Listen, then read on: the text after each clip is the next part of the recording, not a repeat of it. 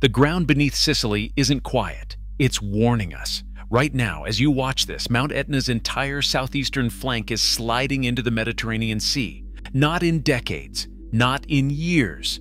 Today, every hour, Europe's most dangerous volcano shifts another millimeter closer to what scientists call the unthinkable, a collapse so massive it could send tsunami waves across three continents. The mountain that has erupted for thousands of years is now doing something far more terrifying. It is falling apart. In August 2025, something changed on Mount Etna. New fissures tore open across the southeastern flank, sending lava flows cascading two kilometers down slopes that were already moving. Strombolian explosions lit the Sicilian night sky while pyroclastic flows raced down volcanic channels carved by centuries of eruption. But this was not just another eruption, it was loading. Every ton of fresh lava was adding weight to a mountainside that Italian scientists have been watching slide eastward for decades. The data does not lie. GPS stations scattered across Etna's flanks record the same relentless truth. The southeastern slope moves seaward at 3 to 5 centimeters every year. That is not erosion, that is not settling, that is gravitational collapse in slow motion, pulling an area the size of Manhattan toward the Ionian Sea. Dr. Giuseppe Puglisi from Italy's National Institute of Geophysics and Volcanology has spent his career tracking this movement. His team's weekly bulletins, updated as recently as November 4, 2025, show something unprecedented, a mountain that erupts while simultaneously falling apart. The volcanic activity masks something far more dangerous underneath. Seismic networks detect continuous micro-earthquakes as internal structures adjust to the shifting foundation. Thermal cameras capture heat signatures that reveal the mountain's internal stress. The measurements are precise, methodical, terrifying, each GPS coordinate shift represents millions of tons of rock in motion. Each seismic reading captures the mountain's struggle against gravity. Each thermal anomaly suggests the deep processes that are slowly dismantling one of Europe's most iconic landmarks. The 2025 eruptions added silt, a new variable to this equation. Multiple fissure openings distributed fresh volcanic material across already unstable slopes. Loading events that once occurred over decades now happen in weeks. The mountain is literally piling weight onto its own foundation while that foundation slides toward the sea. But that is only part of the story, because what is happening on land is nothing compared to what has been discovered beneath the waves.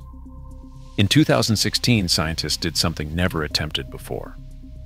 They placed acoustic transponders on the seafloor off Etna's coast. These sophisticated instruments, typically used to study deep ocean fault systems, were deployed in water over 1,000 meters deep. What they recorded changed everything we thought we knew about volcanic collapse. In May 2017, the instruments detected the unthinkable. The underwater portion of Etna's flank moved over 4 centimeters in just 8 days. Not during an eruption. Not during an earthquake.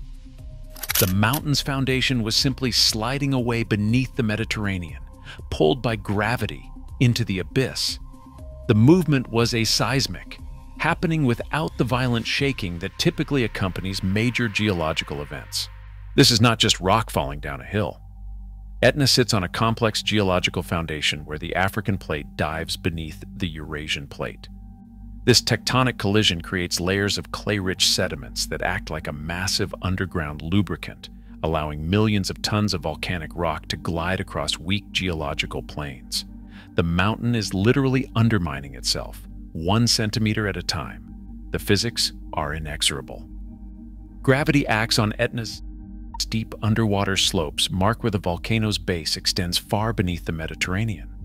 The mountain rises 3,350 meters above sea level, but its foundation plunges another 1,000 meters below the waves. This underwater portion, invisible from land, carries the greatest risk because it lacks the structural support of solid ground. Satellite interferometry reveals the terrifying scope. The entire southeastern flank, both above and below sea level, moves as one coherent block. Picture a piece of the mountain larger than downtown Manhattan, sliding toward the abyss in geologically slow motion. The process has been underway for millennia, but recent eruptions are accelerating the loading while tectonic forces continue their relentless pull. Advanced modeling shows how magma intrusions temporarily accelerate flank movement during eruptions, then settle into longer periods of steady creep. But this pattern contains a hidden danger. Each cycle brings the mountain closer to a critical threshold where steady sliding could transition to catastrophic collapse. The submarine slopes off Etna's coast are among the steepest on Earth. Underwater canyons carved by ancient landslides scar the seafloor, testament to previous collapses that reshaped the Mediterranean basin. Sediment cores reveal the geological fingerprints of these events, massive debris flows mixed with volcanic ash, frozen in time on the ocean floor. Yet what comes next could be even worse. This slow slide might not stay slow forever. 8,000 years ago, Etna did something that still haunts the Mediterranean seafloor. Marine sediment cores pulled from the Ionian Sea reveal the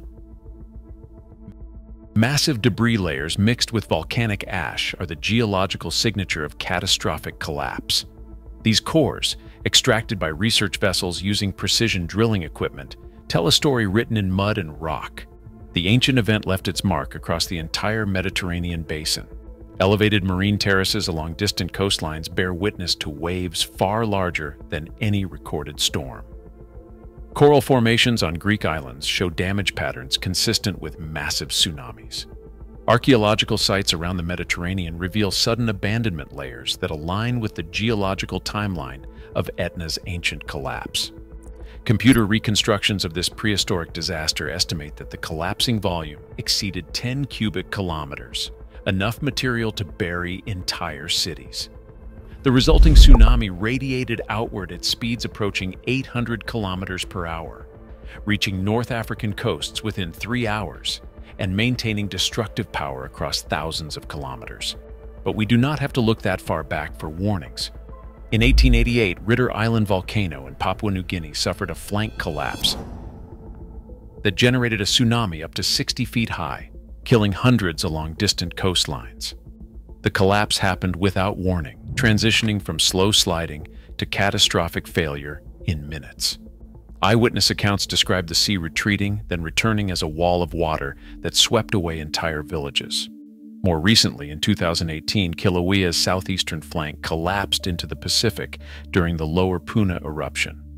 The event created new underwater canyons and reshaped Hawaii's Big Island forever. Seismic monitoring detected the progressive failure as rock weakened by magma intrusion finally.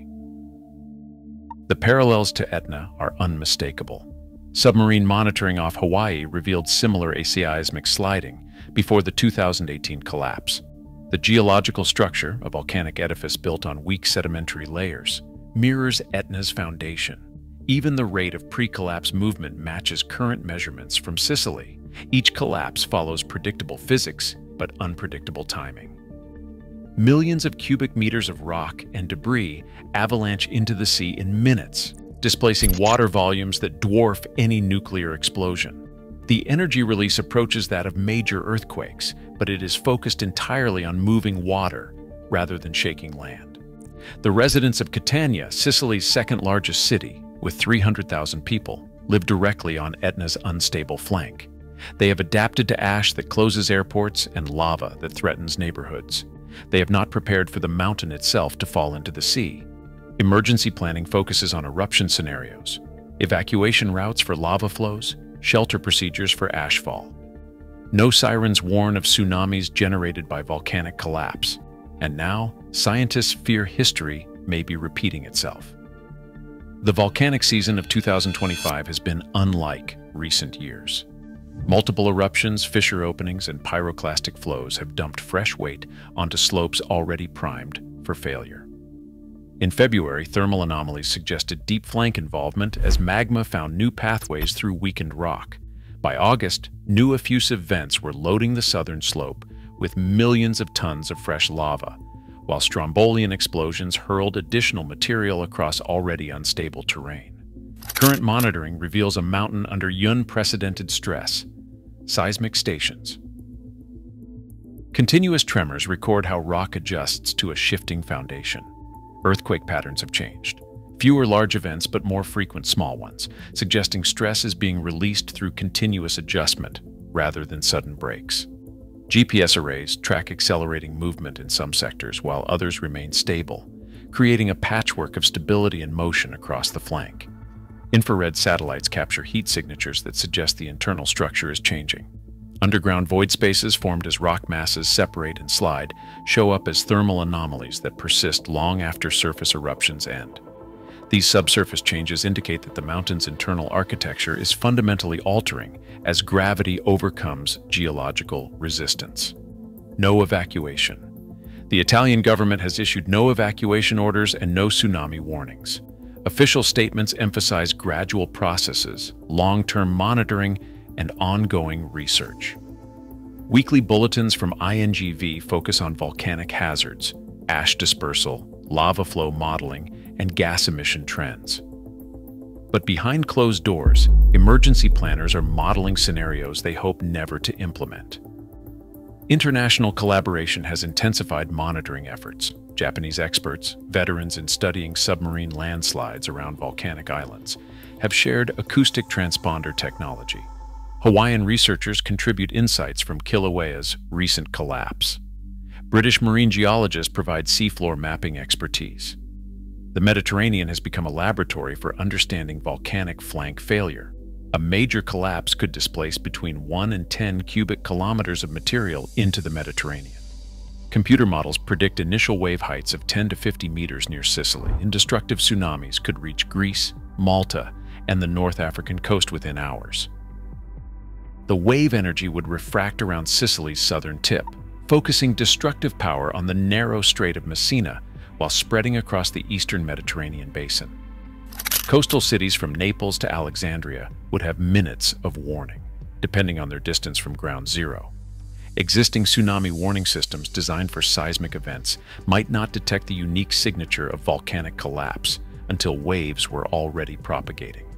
The Mediterranean's enclosed geography means reflected waves could maintain destructive power for hours, creating multiple tsunami arrivals at each coastal location. The mathematics are sobering. Even a partial collapse could generate more destructive energy than the 2004 Indian Ocean tsunami that killed over 230,000 people.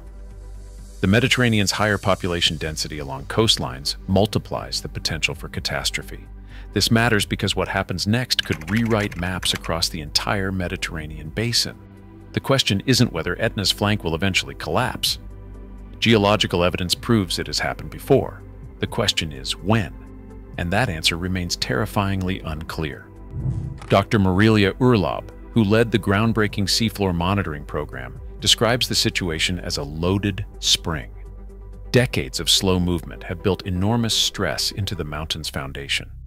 The acoustic transponder data reveals a system balanced on the edge of stability, where small changes in loading or lubrication could trigger massive failure. But predicting the trigger, whether it is a magnitude 6 earthquake, a massive eruption, or simply the accumulated weight of time, remains beyond current science. Recent studies suggest the possibility of acceleration, aligning geodetic data with historical patterns that preceded ancient collapses. Researchers analyzing the 8,000-year sediment record have identified precursor signals, subtle changes in sliding rates and earthquake patterns that preceded the catastrophic event. These same signals appear to be emerging in current data, though their significance remains debated within the scientific community. But other experts point to the mountain's remarkable stability, despite centuries of eruption and earthquake activity. Etna has survived major regional earthquakes, including the devastating 1693 event that destroyed much of southeastern Sicily. It has endured massive eruptions that added enormous weight to its flanks. Each time, the mountain has adjusted, flexed, and continued its slow slide without catastrophic failure. The debate continues while the mountain keeps sliding. Advanced monitoring networks now track every measurable parameter, ground deformation, gas emissions, thermal changes, seismic activity, electromagnetic variations. Artificial intelligence algorithms analyze patterns in real time, searching for the subtle signatures that might herald accelerating instability. Defiant. What's certain is that Etna defies easy prediction. The same volcanic forces that built the mountain are now tearing it apart. Each eruption adds weight, while internal pressures seek release through the path of least resistance. gravity's pull toward the sea. The mountain exists in dynamic equilibrium, balanced between construction and destruction, creation and collapse. International monitoring networks continue expanding. Underwater sensors multiply across the Ionian seafloor, creating an early warning web that spans hundreds of square kilometers. Satellite coverage intensifies with new radar interferometry missions that can detect millimeter-scale ground movement. Ocean bottom seismometers listen for the subtle acoustic signatures of submarine landslides. Yet the mountain keeps its secrets, sliding toward an unknown threshold that may not reveal itself until seconds before it is crossed. The physics are well understood. The timing remains a mystery. Emergency planners prepare for scenarios ranging from decades of continued slow sliding to sudden catastrophic failure within years. The Mediterranean sleeps fitfully, watched over by instruments that record every tremor, every shift, every sign that Europe's most dangerous volcano is preparing for its most dangerous act. The slow-motion disaster continues, measured in centimeters per year but capable of unleashing devastation in minutes.